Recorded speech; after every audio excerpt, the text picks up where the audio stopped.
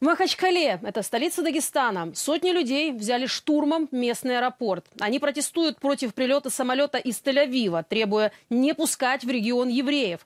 А в соцсетях публикуют видео, на которых протестующие ищут в терминале пассажиров из Израиля и проверяют автомобили, выезжающие с территории.